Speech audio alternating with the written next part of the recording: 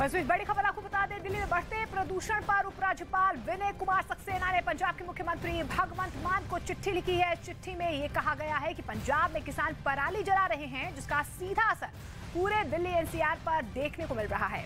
प्रदूषण का स्तर लगातार बढ़ रहा है। चिट्ठी में यह भी कहा गया है कि पंजाब सरकार पराली ना जलाने को लेकर उचित कदम उठाए, जिससे कि किसान पराली ना जलाएँ। इस चिट्ठी में 2021 से 21 के मुकाबले पराली जलाने की घटना बढ़ने का भी ज़िक्र किया गया है।